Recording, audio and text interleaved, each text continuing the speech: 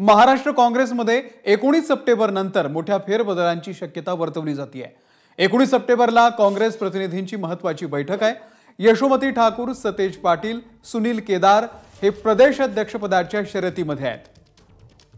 काँग्रेसला नवीन प्रदेशाध्यक्ष मिळू शकतात यशोमती ठाकूर सतेज पाटील सुनील केदार यांची नावं सध्या चर्चेमध्ये आहेत. मनश्री पाठक या संदर्भातले अपडेट आपल्याला देतील मनश्री. येत्या एकोणीस तारखेला यशवंतराव चव्हाण सभागृहात दुपारी तीन वाजता काँग्रेसच्या प्रदेश प्रतिनिधींची बैठक होणार आहे. या प्रदेश प्रतिनिधींच्या बैठकीमध्ये काँग्रेसच्या सध्याच्या महाराष्ट्रातल्या स्थितीबाबत तर चर्चा केली जाईलच. मात्र त्यासोबतच काही महत्त्वपूर्ण निर्णय घेतले जाण्याची देखील शक्यता आहे. त्या निर्णयांबाबतीत चर्चा होण्याची शक्यता आहे आणि त्यामध्ये महाराष्ट्राला नवे काँग्रेस प्रदेशाध्यक्ष मिळू शकतील अशी देखील शक्यता आहे. एआयसीसीच्या डेलिगेशनकडे प्रदेश प्रतिनिधींचं मंडळ हे आपला प्रस्ताव सादर करतील.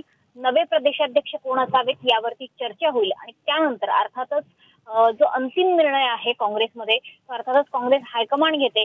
त्यामुळे त्यांच्याकडे हा प्रस्ताव पाठवला जाईल. त्यामुळे लवकरच काँग्रेसला नवे प्रदेश प्रदेशाध्यक्ष मिळण्याची शक्यता आहे. मनश्री धन्यवाद दिलेल्या या संपूर्ण माहितीबद्दल. एबीपी माझा. उघडा डोळे बघा नीट.